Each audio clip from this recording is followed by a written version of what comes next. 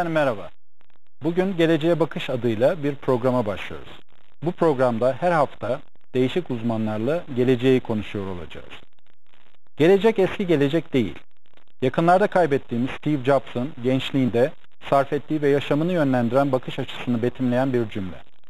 Jobs, son 30 senemize damga vuran, kendi geleceğini, şirketinin geleceğini, hatta hatta sektörünün geleceğini şekillendiren insanlardan biri. Zaman akışı çok hızlandı. Algının değişmeye başladığı ve beklentilerin arttığı bir süreçten bahsediyoruz. Gelecek kendi haline bırakılmayacak kadar önemli bir süreç. Üzerinde çok ciddi çalışılması gerekiyor. Gelecek çalışmalarında en önemli aracı da hayal kurmak. Doğal olarak hayal kurmak da çok ciddi bir iş. Bugün daha iyi bir gelecek için hayal kurmayı uğraş edinmiş bir Fütüristler Derneği'nin yöneticilerini ağırlıyoruz. Hoş geldiniz efendim. Hoş bulduk. Ufuk Taran, Fütüristler Derneği Başkanı, Em Gelecek Planlama Merkezi Başkanı, Dijital Stratejist ve Gelecek Tasarımcısı. Murat Şahin ise Fütüristler Derneği Başkan Yardımcısı, orijinal şirketleri kurucu ortağı, kendisini e, benzeri olmayan iş hayallerini gerçeğe dönüştürme uzmanı ve iflah olmayan bir hayalci olarak tanımlıyor. Hoş geldiniz tekrar. Hoş bulduk. E, konumuz fütürizm E, ve fütüristler ne yapar? Nasıl fütüristleri nasıl betimliyorsunuz? Nasıl anlatıyorsunuz? Kendinizi nasıl anlatıyorsunuz? Öyle bir başlayalım isterseniz ısınmak için. Ladies first, hanımlar önce. Buyurun. e, fütürizmi biz çok yalın bir şekilde aslında olumlu gelecek tasarımı e, yapmaya çalışan bakış açısı, e, yaklaşım diye tanımlıyoruz. Ve geleceğe müdahale etmek istiyoruz. Yani gelecek değiştirilebilir.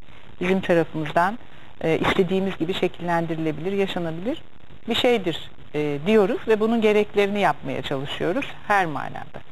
Peki e, biz Doğu ile Batı kültürleri arasında yaşayan ama Doğu kültürlerine daha yakın olan, doğal olarak biraz kaderci, e, gelecekle ilgili bir soru sorulduğu zaman inşallahla cevap veren, işte kısmet nasibi çok kullanan bir toplumuz. Zor olmuyor mu? E, Zor oluyor. E, Zorluk, imkansızlık değil. E, Bunu biliyoruz. E, Evet gerçekten zor oluyor bazen anlatmak ama giderek de bunu aştığımızı e, görüyorum. Hem bizim çabalarımızla hem de dünyanın içine girdiği yeni dönüşüm, değişim süreciyle e, giderek kolaylaşıyor. Yani eskisi kadar zorlanmıyoruz ama hala almamız gereken e, çok mesafe var. Kat etmemiz gereken çok yol var. Peki gelecek planlanabilir diyorsunuz. Bununla da ilgili çalışmalar yapıyorsunuz. E, bu arada da e, terminolojileriniz de bizden farklı. Mesela öngörü yerine uzgörü kullanıyorsunuz. Lider yerine yönder kullanıyorsunuz. Biraz bunları açabilir misiniz bize? Neden uzgörü öngörünün yerine? Aa, şimdi konumuz gelecek ve tabii biz yaşamda bir şeyleri değiştirmeye adayız. Ee, insanların bugüne kadar olan alışkanlıkları. Yaşamın temelinde de inanç var. Biraz önce sor, sorduğunuz soruyla çok ilintili. Elbette insanlar bir şeylere inanarak yaşamlarını devam ettiriyorlar ve böyle de geleceklerini planlıyorlar. Ee, biz artık insanların yaşamında birinin ya da birilerinin söylediği ve bütün bir topluluğun ona itaat ettiği bir düzen, bir yaşamdan daha çok bir, her bir bireyden, ardından aileden, kurumdan, topluluktan kendi geleceklerine ilgili seçimleri yapabilecekleri bir süreç yaşasınlar istiyoruz. Aslında hani uzgörüyle ya da yönderle ilgili de e, bu kavramları seçmiş, seçişimizin arkasında da temelde bu bakış açımız var. Yani uzgörü daha uzun vadeli, daha planlanmış bir tanım oluyor anladığım kadarıyla. Bir de biraz daha belki toplamı, topluluğun daha yoğun, daha çok e, sayıda, topluluktan daha çok sayıda insanın e, hem fikir olabileceği bir gelecek senaryosu olabilir uzgörü. Anladım, anladım.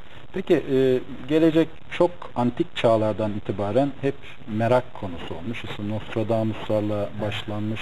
Gelecekle ilgili bir şeyler söylenmeye çalışılmış, kitaplar yazılmış. E, nedir bizi geleceğe yönlendiren, bu kadar bir arayış içine sokan böyle bilimsel bir açıklaması var mı bunun? Aa, Yani açıklan açıklama şöyle bir şeyi fark ediyoruz. Ee, insanlar ölece, öleceğini bilmesine rağmen hep gelecekte daha farklı şeyler yapmak üzere e, daha iyisi için araştırma ve koşu içinde. E, bunun e, bir genetik açıklaması olduğunu söyler Profesör Yankı Yazgan. E, Neandertallerden sonra ki insan yani şu anda bizi taşıyan nesile e, böyle o ön frontal loblara yani beyne bir bir anlamda bir işlemci e, prosesör konmuş ve bu da ya eğer e, yarın algısını, gelecek algısını aslında çalıştırıyor bünyede. E, bir de bir fizik e, şeyi var, e, kanunu var.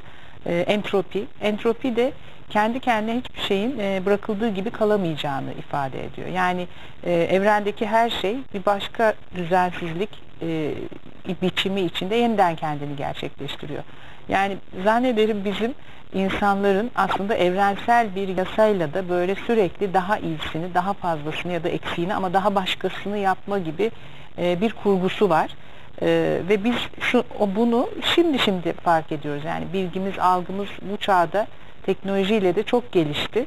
Ve şimdi bir takım şeyleri yeniden yeniden anlamlandırdığımızda sanki bunu da bir açıklama olarak görebiliriz. Yani nedir bu gelecekle bu kadar uğraşmamızın e, altında yatan? E, bence bunlar da önemli sebeplerden. Yani gelecek merakımız aslında bizim genetik bir kodlamamız. Evet. E, öyle e, izah edilen, ön, izahları yapılan önemli çalışmalar var. Bugün daha çok konuşuluyor olmasının sebebi de belki yani bugün e, insanoğlunun elinin altındaki iletişim teknolojileri. Daha çok şeyden haberdarız. İnsanlık tarihi boyunca dünyada dolaşan bilgi artık iki yılda bir dolaşıyor. Müthiş bir hız var böyle baktığımız zaman ve dolayısıyla da pek çok örneği hani geleceğe katkıda bulunmuş, başarı öyküsü olmuş, insanların kendine ilham alabilecekleri pek çok er- örneği dünyanın her yerindeki insanlar yaşıyorlar ve onlar artık ben de yapabilirim diyerek yola çıkıyorlar. Bunun da bir etkisi olduğuna inanıyorum. Peki nedir? e, tanım nedir? Yani bir e, gelecek fütürist bakış açısı ne demektir? E, nasıl sahip olunur? E, bunu böyle kolay bir şekilde anlayabileceğiniz bir şekilde anlatabilir misiniz bize? E, tabii yani şimdi demin konuştuk. Demek ki bir evrensel yasa ve bir sistem var bünyemizde. Yani bize duralım, ben böyle iyiydim, değişmeyeyim, dönüşmeyeyim diye gibi bir şeyi istesek bile yapamıyoruz. Çünkü sistem öyle çalışmıyor. Nasıl yaşlanıyoruz? E, bizimle birlikte geleceğe dair çalışma yapmamızı e, tarifleyen bir şey de çalışıyor. Onun için biz bunu bir kere kabul edelim. Yani ya eski iyiydi, dönüşmeseydik falan. Hani gelecekle ilgili bakarken ilk önce bunu değiştirmek lazım. Kabullenmek lazım ve bununla ilerlersek de aslında e, her şeyi bizim hayallerimizde gerçekleştirip, e, kurgulayıp ondan sonra onunla ilgili disiplinli çok çalışarak yapmak gibi bir görevimiz olduğunu algılıyoruz. Yani son 30 yıldır e, böyle hissetmedik. Sanki sistemler kurulursa, işte standartlar oluşturulursa, kurumsal hayat, eğitim, böyle bir takım şablon ve formatların içinde e, sıkıştık kaldık. Yani şunu yap, şu okula gidersen, üstüne şunu da yaparsan, sonra da şöyle bir işe girersen, ondan sonra da emekli olursan hayat çok güzel. Mesela yaşam garantisi, gelecek garantisi gibi terminolojiler geliştirdik. Şimdi algılıyoruz ki hiç öyle garantiler yok. Hiç öyle hazır kariyer planları, e, eğitim planları, iş kontratları falan yok. Her şey değişebiliyor, değişmek zorunda. E, Demek ki herkes kendi başına o zaman bunu çözecek. Yani o belki de bu çağın, fütüristlerin e, altını kalın kalın çizdiği en önemli şey e, artık öyle bir çağdayız ki herkes ke- önce kendisiyle ilgili kararları yapabileceklerini yapmak durumunda olduklarını netleştirmeli. Yani gelecekte bizi bir şeyler beklemiyor. E, gelecekle ilgili ilişkilerde bize bir başkaları çok yardımcı olamayabilir. Zorlaştırıcı da olamayabilir. Ya da her ikisi de olur ama biz hepsini değiştirmek sorumluluğu içindeyiz. Bence bizim aslında çok söylemek istediğimiz şey herkes kendi hayatından ve geleceğinden önce kendi sorumlu. Ee, bunu ifade etmeye çalışıyoruz. Doğal olarak da kendi geleceğimizi aslında kendimiz belirleyip kendimiz yönlendirebiliyoruz, yönetebiliyoruz. Ve Evet. bununla da ilgili bir disiplin elde etmek zorundayız. Kesinlikle ve Evet. ama orada hani hep kendi kendi dedik. Yani hiç kimse hiçbirimiz de kendimiz yaşamıyoruz. Sadece insanlar olarak da yaşamıyoruz. Onun için bizim demek istediğimiz yani önce bir kendini şekillendirmeyi ve yönetmeyi e, becermeli insan. Ama bunu yaparken çevreyi ve diğer insan artı diğer türleri de düşünmeli. Yani böyle çok farkındalığı yüksek ve bu yaşam sorumluluğunu üstlenmiş olmayı aslında e, vurguluyor veya anlatmaya çalışıyoruz. Peki, peki efendim. Şimdi tabii kişisel bazda aldık e, buraya kadar olan kısmı. Bu işin e, şehirler, şirketler bazında, e, memleketler bazında kısmı da var. Biliyoruz ki e, daha gelişmiş ülkeler gelecekleriyle ilgili planlamalar yapıyorlar, kitaplar yazıyorlar ve bunları uygulamaya çalışıyorlar.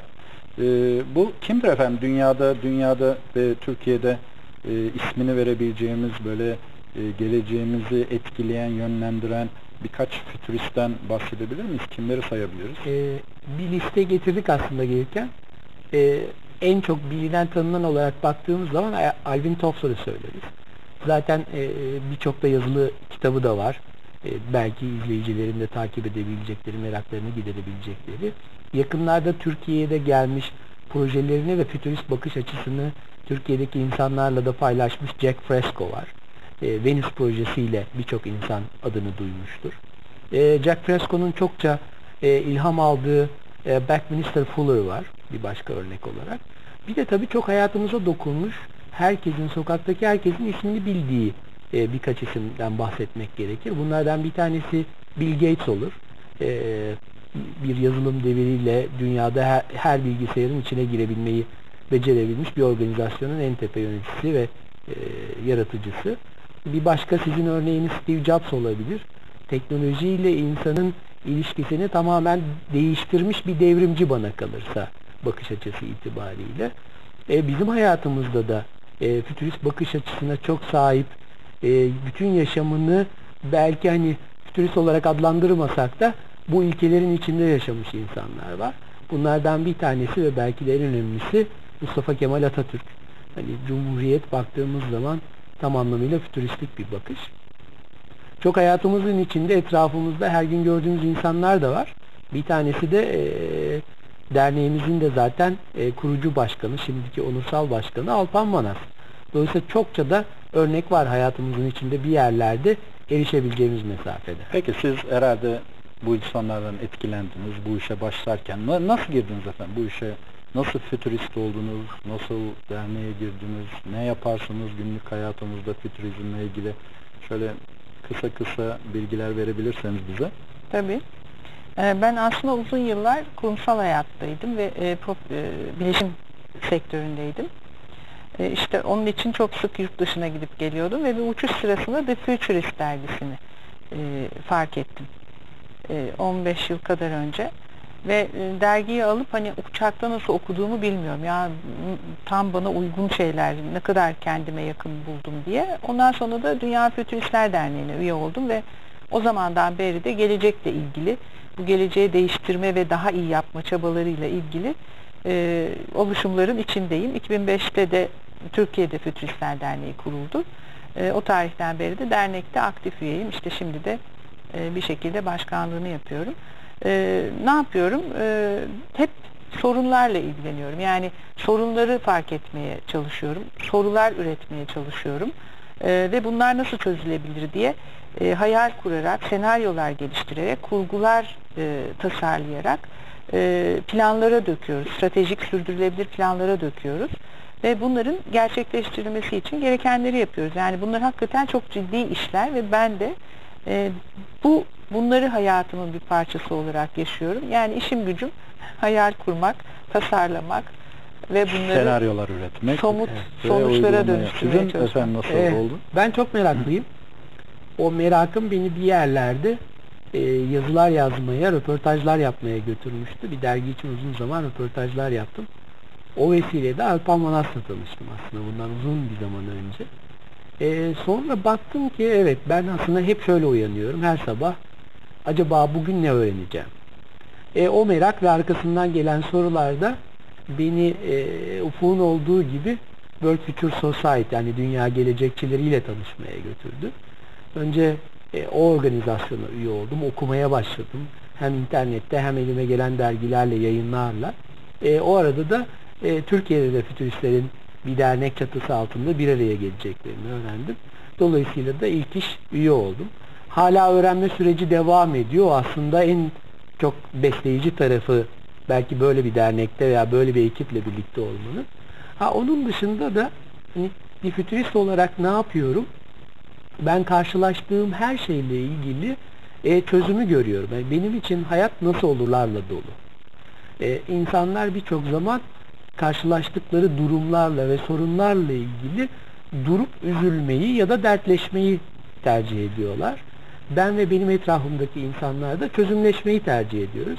Aslına bakarsanız hani bu disiplinin bana kattığı ve yaşamımı değiştirdiği böyle bir durum var. Bir örnek var mı? Yani iflah olmayan hayalci e, tanımıyla hani bununla ilgili çok böyle kısa ya şurada Var. bugün şöyle gidiyordum da şu sorunu gördüm hemen kafama çözüm geldi de e, böyle bir yatırım Evet. yaptım falan gibi ya. Şöyle e, bir akşam e, dışarı çıkıp bir eğlence sonrasında alkollü otomobil kullanan arkadaşımızın ehliyetini aldı polis haklı olarak. Alkollü otomobil kullanmamak lazım.